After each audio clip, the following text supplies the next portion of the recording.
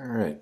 Hey, everybody. So we're going to be looking at the string class again that I started in my phone. Um, and now we're looking to make um, actual unit tests and, and try to bring it into the real world, so to speak. Um, and we've been doing good so far. I mean, we've got 10 tests with 10 assertions. The code is very um, clean, at least from my perspective, and easy to read especially after the refactoring that we did in the previous video. So uh, we stopped at insert, and basically what insert is going to do is um, if you have a string, say of five characters, then we want to be able to insert new characters, say at the second position, without deleting any of the new ones. So it would be kind of like um, so let's go ahead and just write out the test real quick. Um, test can insert um, so basically, let's say we were to write hello, um, and we wanted to write um, or let's say we accidentally wrote hello world,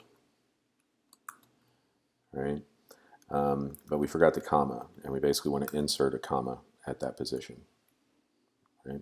So, in fact, let's go ahead and do that. So we're going to say expected is hello comma world. We're going to um,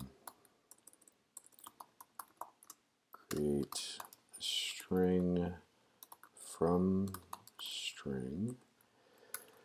And we're gonna say hello world.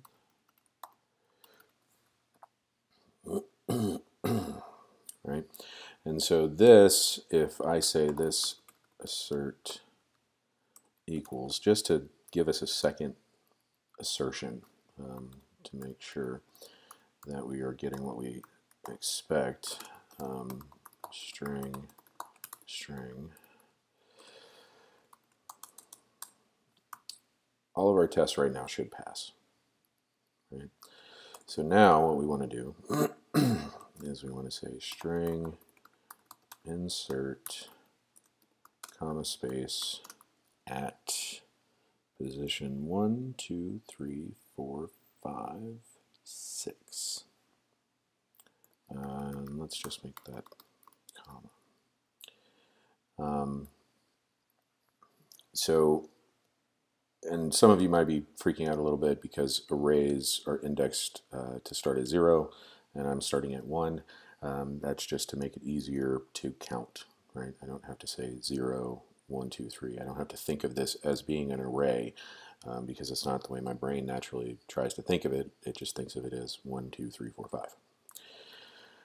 So now, if we do that, we should be able to say this assert equals expected string, string.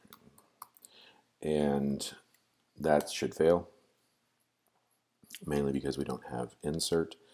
Um, so let's go ahead and public function insert string value um, and they use in Swift they use at so I'm going to go ahead and use at as well. And this is going to return the instance not a string. So return this and right so we don't have the comma. Okay so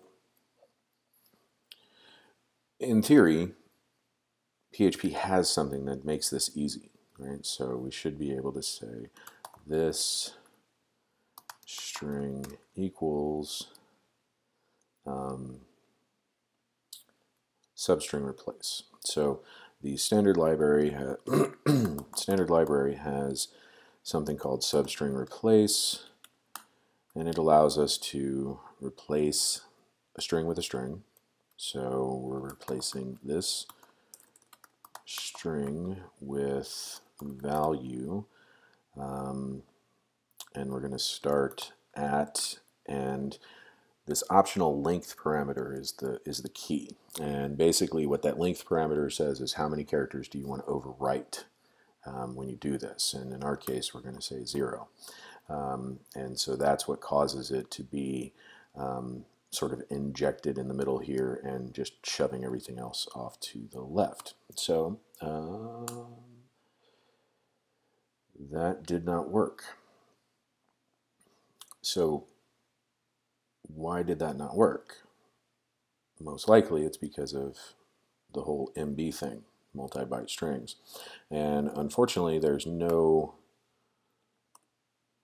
MB substring replace in the standard library. Um, and if we want to try to test to make sure that that's actually what happened, um, no, let's not go down that path. So, and so if you look for, because inside the docs there's um, uh, PHP docs, there's usually comments and things of people saying, you know, there's a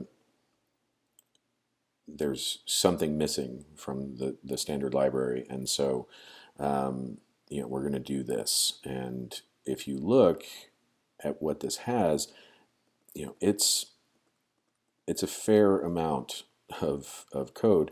And on top of that, it's um, not consistent, right? Like there's not, um, I couldn't find anywhere where it was like, this is the definitive answer. This, this is the way that we should be doing it, and they should just make it part of the standard library. So, um, so what do we do and to, to make this work? I mean, you, you can do, and, and there's a lot of ways to do this.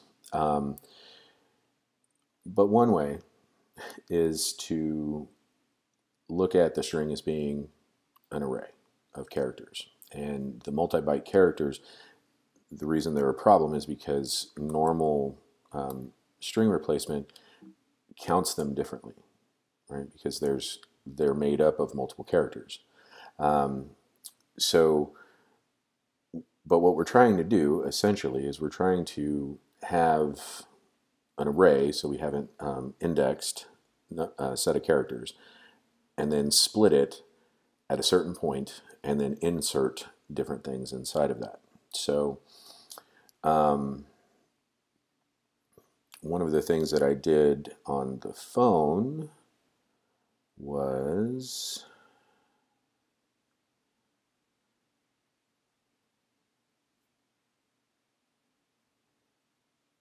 one, I didn't use multi-byte characters, um, is I use this um, piece of code. And I can't remember where exactly I found it.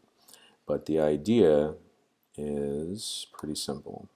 So I'm going to bring it up here from file and to array. I'm going to make it private, so I'm not even going to test this directly. Um, so preg split basically says, okay, possible Unicode characters just split there. We're going to do um, this string null. Um, I can't remember what the null does, and then preg split no empty. All right. So basically, in order to test this, what we can do is instead of saying count MB string length and and having you know PHP handle the uh, uh, multi-byte problem for us is we can actually say count this to array. And in theory we should still only have one failure right? Um, because count works against an array. It works kind of against a string but it really it, that's what it's made to do is work with an array. So now um, what we want to do is PHP split array into chunks.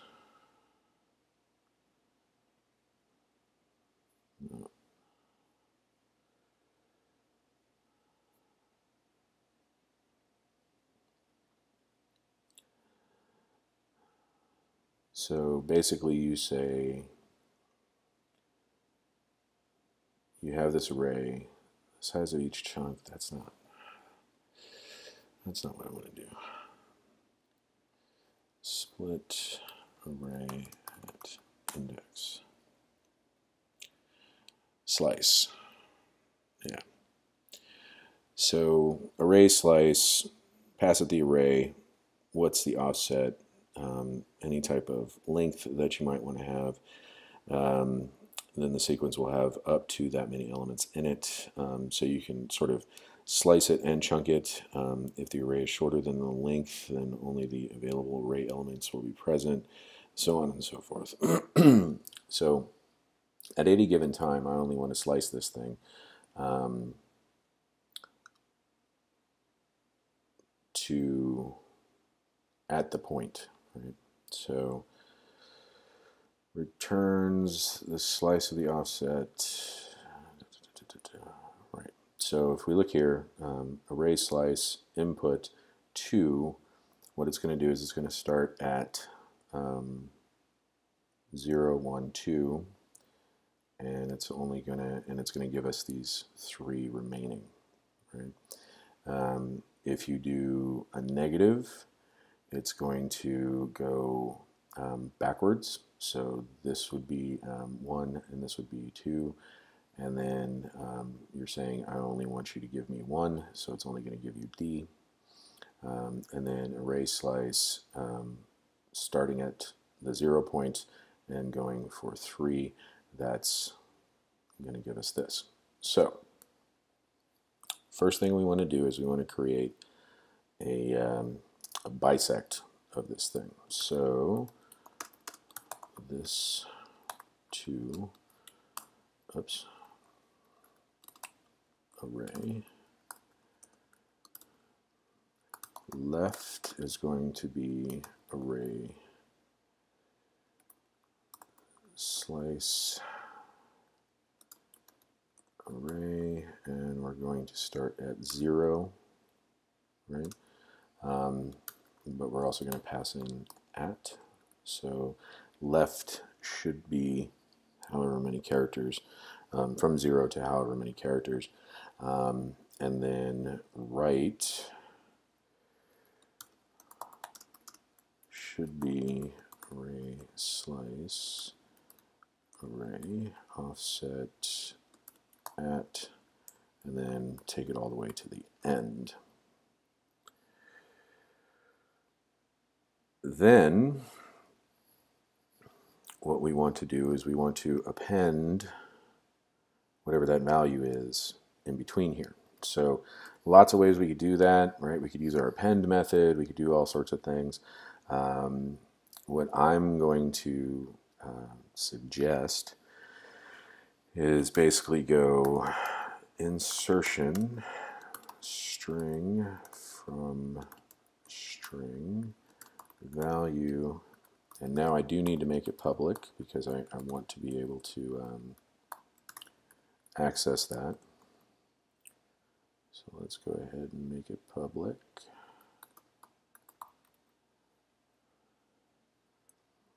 And then we're going to say um, this string equals mer array merged. Um, and so what array merge does is it takes n number of arrays and glues them all together, right? Um, and they are in sequential order. So what you put first will be ahead of what you put second, ahead of what you put third. So if we say left insertion and right, that should be close, if nothing else. um, so let's see, return value of a fold string must be a type, oh, array returned. Um, so, array merge, oh, right. So we're going to do um, merged. So this glues all the characters together and then we're going to implode Um, so what implode does is it takes the contents of an array, um, specifically uh, if they're a string, um, and binds them all together with whatever the glue is. And so in this case, um, the glue is going to be an empty space, and then we're going to say that the pieces are merged. Um, and if we put a comma, it would be different and that sort of a thing. So getting closer, but that's the same error that we had before.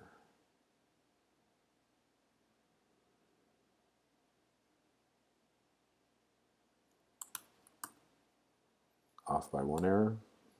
Yeah. So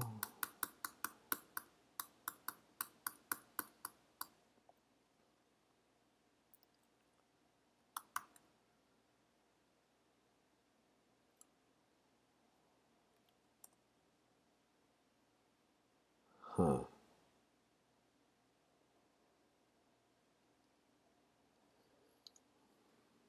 This makes me want to double check something.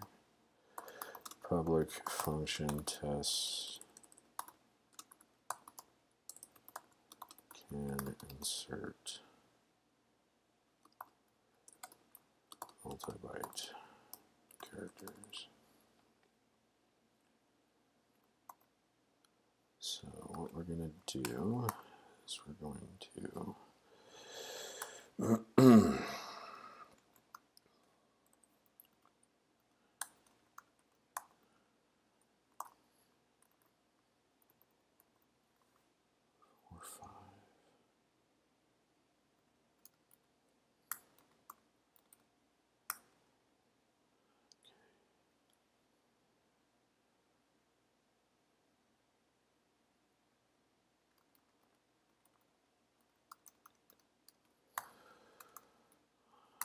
Expected is that commas are all there. So we're going to start with that, which means we want to double check that that is correct, incorrect. One, two, three, four, five. Let's see what this gets us.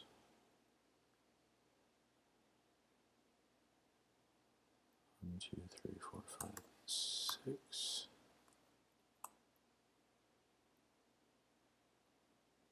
Okay, yeah. Now we have the problem. Okay, so this string, we're gonna merge all of that.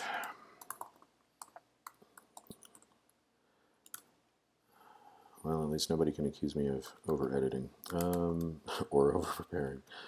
Uh, merged this string equals uh, implode merged.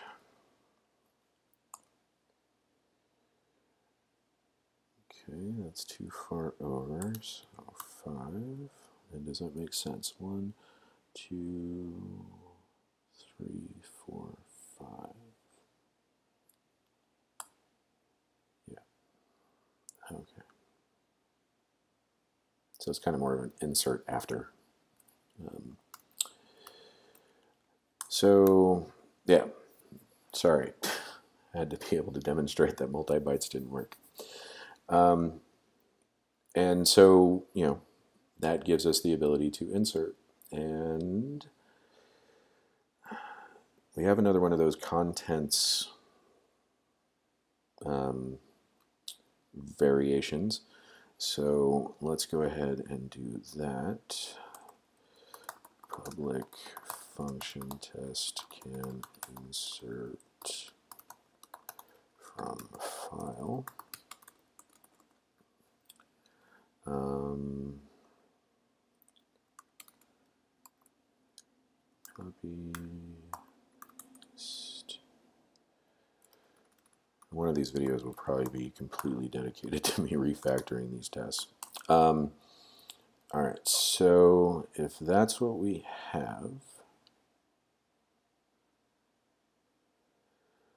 what we want to do is insert,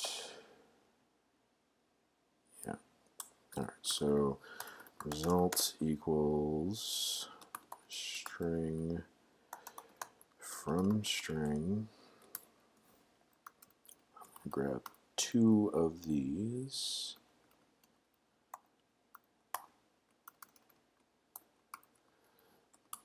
Right, and then do insert from file. And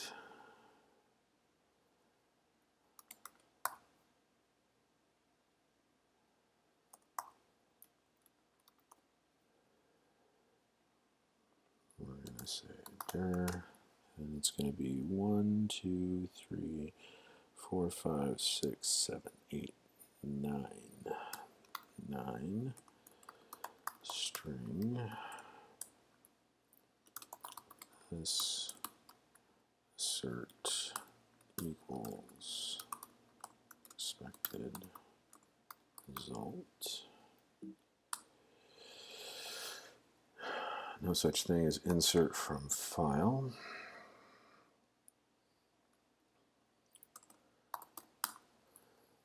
So, oops, insert from file, um, string path int at string is going to be returned.